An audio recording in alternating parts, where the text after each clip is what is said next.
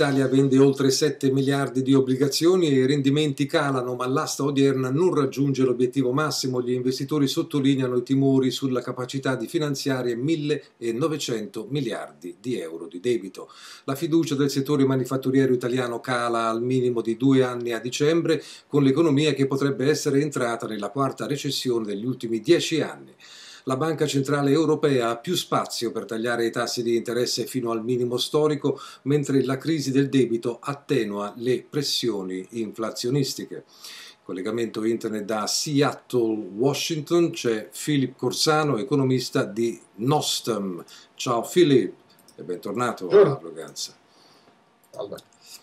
Dunque, Fili, parliamo ancora di aste di BTP. In quella odierna il Tesoro ha venduto, do qualche numero eh, per iniziare, 2 miliardi e 500 milioni di euro di BTP con scadenza 2014, meno dei 3 miliardi previsti a un rendimento comunque del 5,62%, in calo dal 7,89% dell'asta del 29 novembre. Il Tesoro ha poi prezzato 2 miliardi e 500 milioni di euro del suo BTP 5% 2022 a un rendimento del 6,98%, in calo dal 7,56% del 29 novembre. E infine circa 2 miliardi di euro di debito a scadenza al 2021 e un buono a tasso variabile con scadenza al 2018. In totale 7 miliardi e 20 milioni di euro meno del massimo previsto di 8 miliardi e 500 milioni. Non un cattivo risultato considerando appunto il notevole calo del rendimento particolarmente sul triennale, ma rimangono dubbi appunto sulla solvibilità e la pressione del mercato non diminuisce. Eh, sì, io penso che um, questo è un risultato tattico del tesoro che uh, cerca ovviamente di minimizzare uh, usando la curva dei rendimenti uh, a suo favore. chiaramente la curva verso le scadenze a breve è diciamo, a tassi ragionevoli, anche se il 3,25% per sei mesi non è bassissimo. Comunque chiaramente non si può tatticamente è la scelta giusta, però differisce il problema a sei mesi. Um, il vero problema sono i primi, i primi sei mesi, il primo trimestre del 2012, quando ci saranno delle scadenze pesanti del debito a lungo. E, um, forse la cosa da rendersi conto è che um, uh, i tassi a breve sono ancorati da questa manovra della Banca Centrale Europea, um, però diciamo, i tassi a lungo sono molto, uh, dipendono dall'appetito degli investitori istituzionali esteri, eh, principalmente esteri, perché non c'è grande domanda diciamo, all'interno delle banche europee per il decennale che ha causato tanti problemi nel loro um, nel loro capitale, eh, nel loro capitale bancario. Il decennale per l'appunto il rendimento sul rimane basso dopo, la, dopo l'asta al 7,05% in ogni caso, questo nel primo pomeriggio italiano. Alla conferenza di fine anno il Presidente del Consiglio Mario Monti ha detto che il costo dei finanziamenti italiano, oltre il triplo di quello della Germania sul decennale non è giustificato. Non lo è?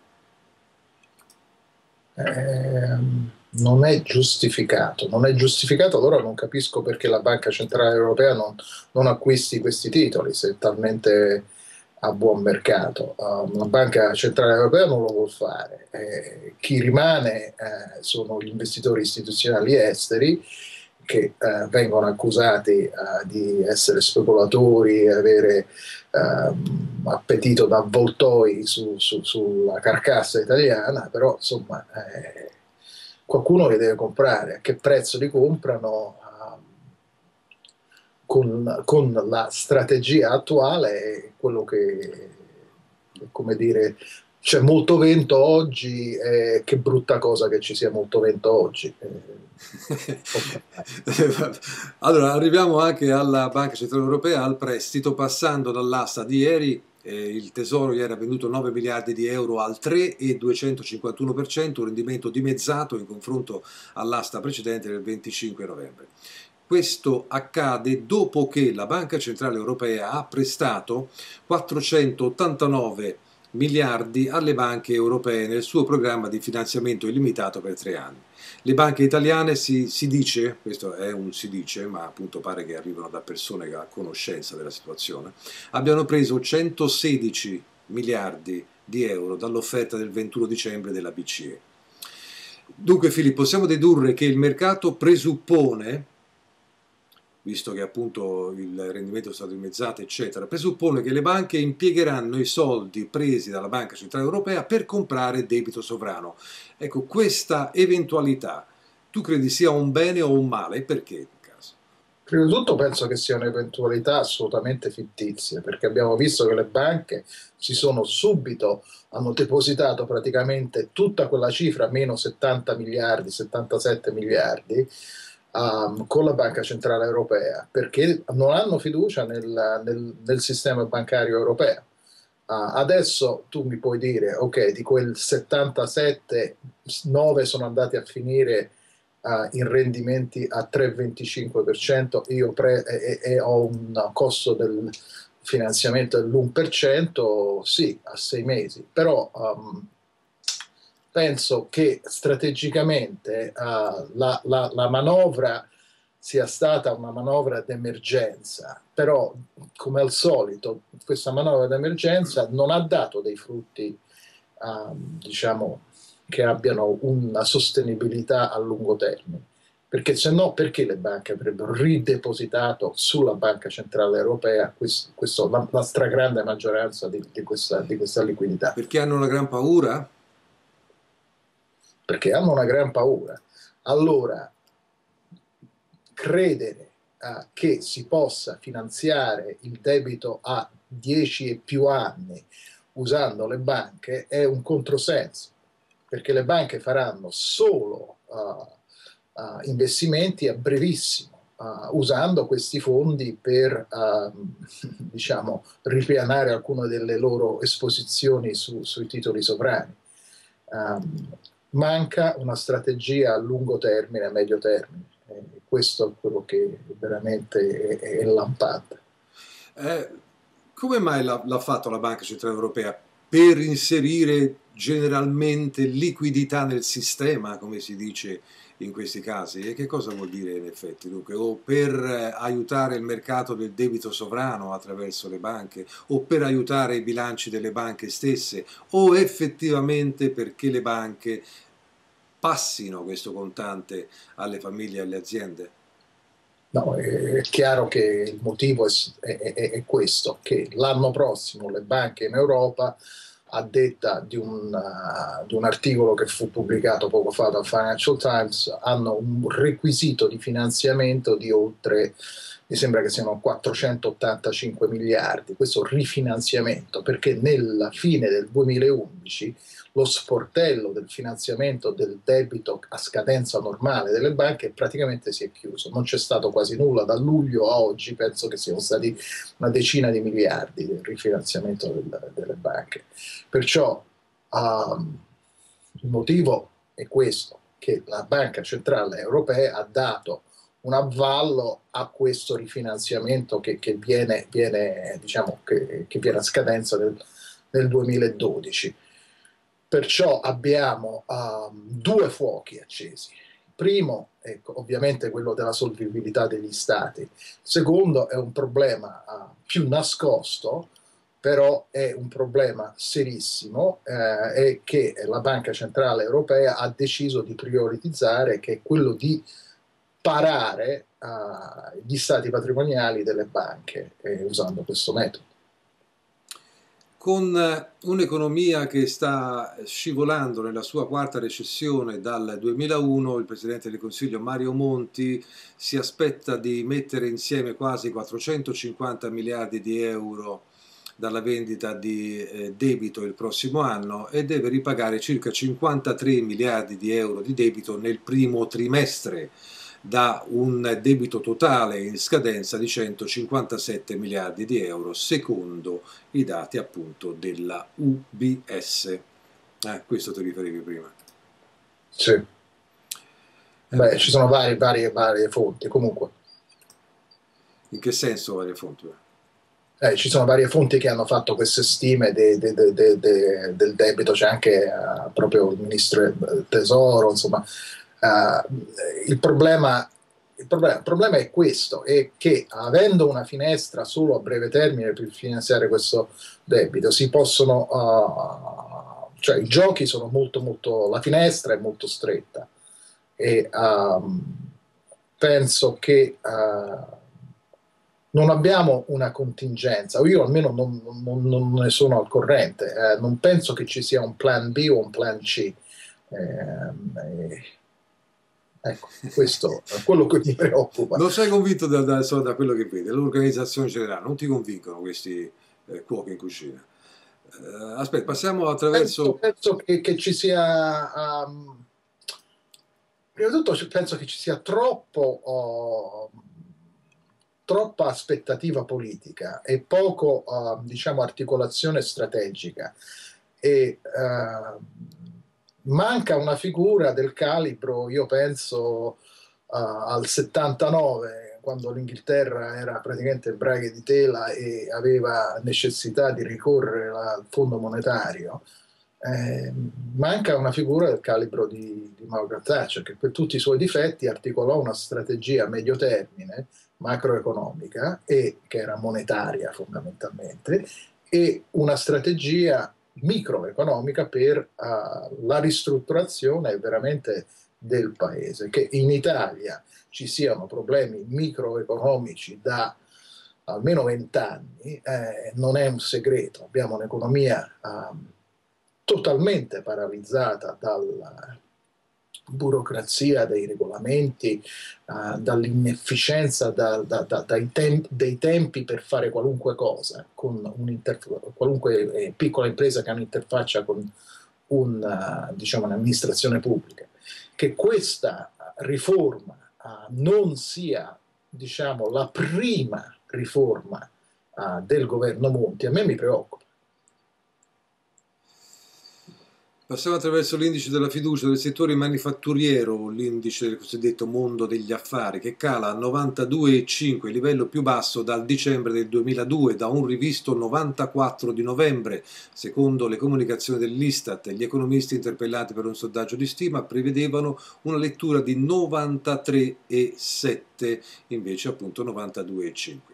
La fiducia dei dirigenti d'azienda rispecchia il pessimismo dei consumatori. La fiducia in Italia dei consumatori è crollata a livello più basso degli ultimi 16 anni a 91,6 a dicembre, appunto il minimo dal 1996, secondo ancora i dati dell'Istat. Anche questa è un'indicazione sulla paura di una recessione nel paese, Filippo.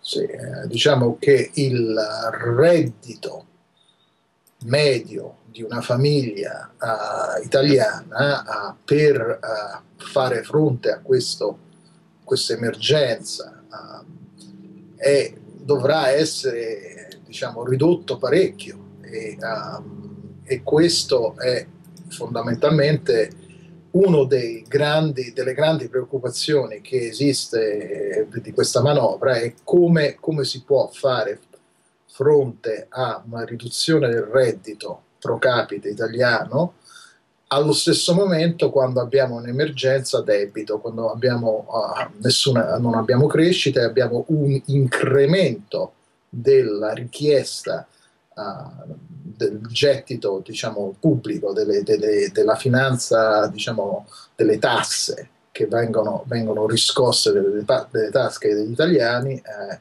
questo è un, concatenazione di, di, di, grossi, grossi problemi. Perciò il 2012 è veramente eh, la resa dei conti. Qui abbiamo parlato tanto, tanto di, di, mille cose che sono tattiche, però la verità è che non c'è una strategia, a mio avviso, articolata a livello europeo per risolvere questo, questa, questa situazione. Eh, Monti, a proposito di recessione, alla conferenza stampa di fine anno di oggi, appunto, ha detto che senza la sua manovra il paese sarebbe scoppiato, l'economia italiana era sul punto di scoppiare, facendo capire meglio una recessione prevista e speriamo, con le parole del Presidente della Banca Centrale Europea Mario Draghi, mild, dunque moderata, l'ha detto, andiamo incontro verso una recessione moderata, meglio questo che uno scenario di tipo greco, è quello che fa pensare Monte. Sì, sì, uh, meglio questo. Uh, il problema è che nell'eredità Monti, uh, e lui fa bene a raccomandare, a, a, a, diciamo, a, dichiarare che la situazione è quella che è, però um, ora è lui che è in bicicletta e deve pedalare, cioè adesso è inutile dire che uh, tutto questo è un pregresso e per fortuna ci sono io. Le soluzioni quali sono?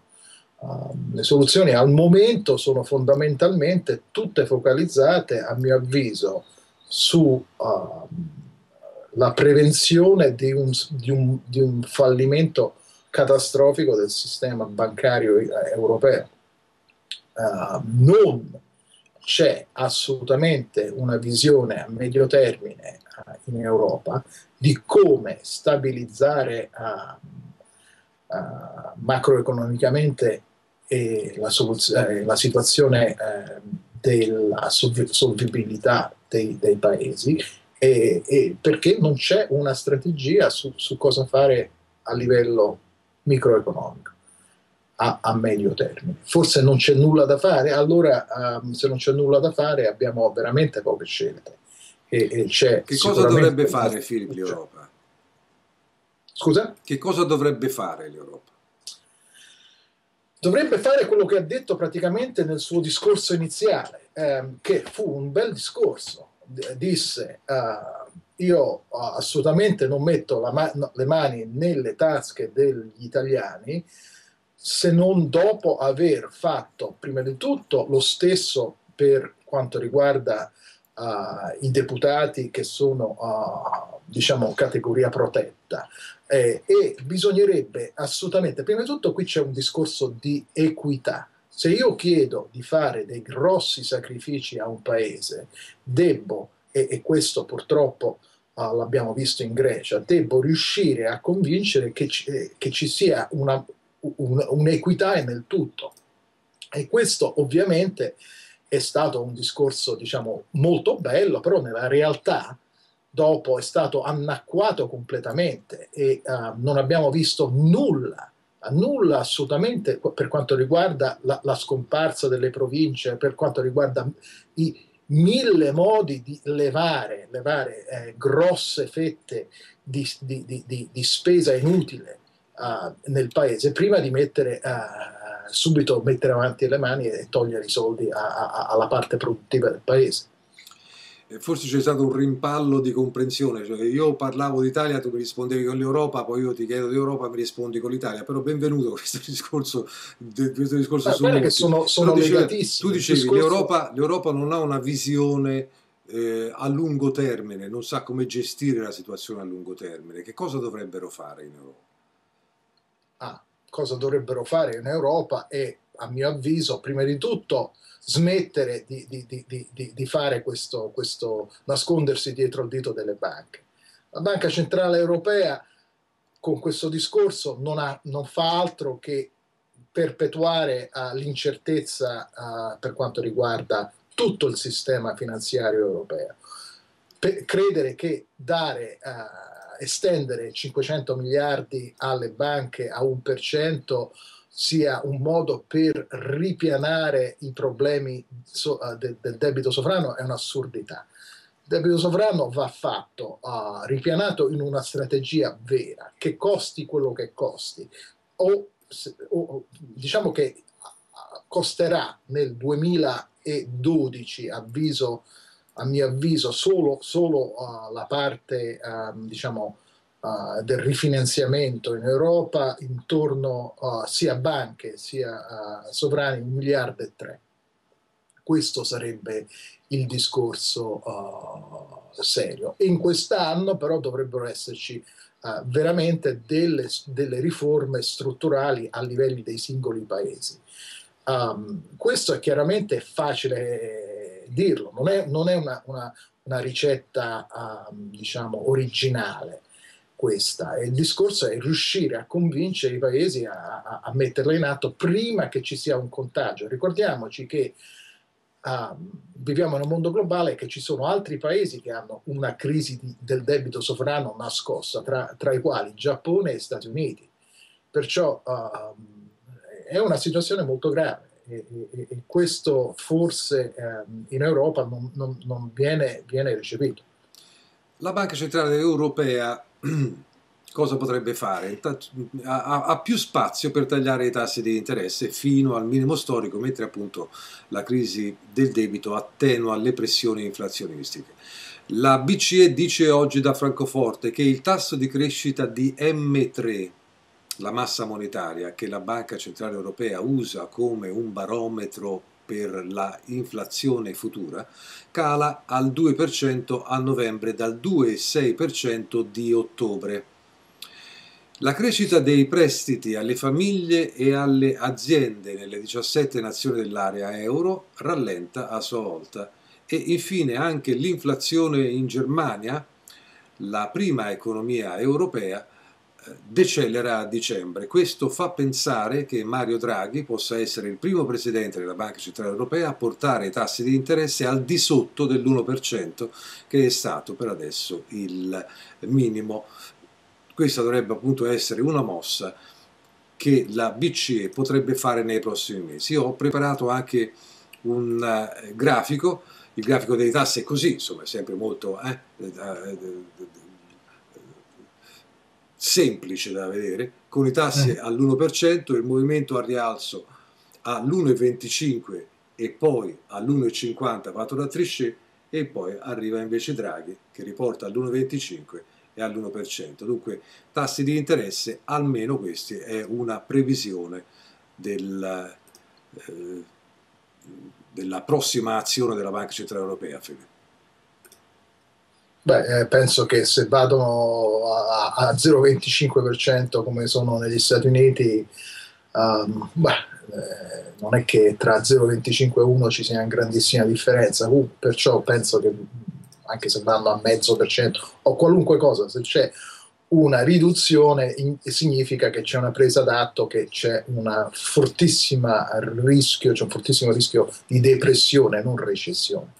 Uh, il discorso fondamentale è uh, che uh, in Europa non abbiamo dei decision maker capaci di, di, di, affrontare il problema economico perché il problema economico dei sovrani è diventato un problema politico e abbiamo troppi, troppi cuochi in cucina e non si riesce a, a diciamo, prediligere una situazione, di, di, di, di, prendere in mano la situazione una volta per tutte invece di, spingere sempre a, un, a, una data futura la, la, risoluzione che come abbiamo visto è stato fatto in Grecia con degli, con degli effetti disastrosi. Um, una delle cose importanti da articolare, penso politicamente, in Europa e specialmente in Germania è il costo di un eventuale uh, diciamo, sfascio della zona euro. Uh, se il costo per tenerlo unito sono dai 1 miliardo e 3 e 2 miliardi uh, di euro, um, io non ho visto cifre vere di quello che sarebbe il costo di un eventuale sfascio della zona euro, però se sono molto superiori, io penso che lo siano, a questa cifra, allora uh, forse eh, ci vorrebbe un, una vera, un, un, un, po' di coraggio da parte della leadership tedesca per affrontare questo discorso. Um, come farlo, in che modo, uh, è tutto un discorso uh, successivo, però se non si fa il cost benefit di, di, questo, di questa analisi non si comunica questo, penso che uh, la crisi può solo, de- so- so- solo peggiorare. Billion o trillion, Philip? Trillion, scusami. Perché Ormai sai, siamo nella stratosfera, non si sa neanche, sono cifre talmente enormi. sì, appunto, dunque, Philip non si riferiva a miliardi, ma a migliaia di miliardi, che è il famoso in inglese trillion, noi in italiano non ce l'abbiamo, il trilione, sono, sono, sono mille miliardi. Um, Filippo, io ti passerei rapidamente anche una domanda che è arrivata e dice così, tornando al discorso che avete affrontato in merito al ruolo della nuova operazione di finanziamento illimitato che la BCE offrirà alle banche, eh, dice Pierantonio Fabrizio Maria, eh, dice volevo chiedere se qualcuno dei tuoi ospiti può spiegare a chi ascolta, io lo so già essendo laureato in economia, ma forse in molti vogliono capire bene la differenza, ci dice vabbè grazie, in cosa differisce rispetto a quanto fa la Federal Reserve, la banca centrale americana, ed in particolare introdurre il tema delle sterilizzazioni che la BCE deve fare in seguito ai finanziamenti per non stampare moneta. Dice in particolare qualcuno dei tuoi ospiti sa qual è la potenza di fuoco che la BCE ha per la sterilizzazione eh, prima di dover obbligatoriamente stampare come la Fed e quindi creare base monetaria a rischio di indurre un effetto inflazionistico sul lungo termine che i tedeschi non vogliono proprio. Grazie mille per Antonio Maria, Fabrizio Maria. Eh, la sterilizzazione in modo più semplice di spiegarlo è quando uh, una banca centrale come la Federal Reserve uh, immette liquidità che si può fare o con il ciclo stile o facendo un'operazione di questo genere nella quale la banca centrale acquista titoli, uh, di solito titoli di Stato dalle banche e allora loro hanno questa liquidità. Um, fai conto ci sia un'immissione di, di, un miliardo di dollari dalla parte della Fed uh, tramite un acquisto di titoli di Stato dalle banche. Questa, questo miliardo è un miliardo nuovo che finisce sullo stato patrimoniale delle banche che può essere levereggiato, può essere uh, immesso in nuovi prestiti, in nuove operazioni finanziarie oppure c'è una controparte, per esempio, di questo miliardo, uh, 500 milioni possono essere richiesti uh, come un aumento di diciamo il deposito che le banche hanno con la banca centrale oppure la banca centrale acquista uh, titoli o valuta estera. Questo è, è, è il discorso. Così il, l'effetto netto è meno del, del 100 che si immettono, magari eh, l'effetto netto è 60, 50, dipendendo dal, da, da, dalla sterilizzazione.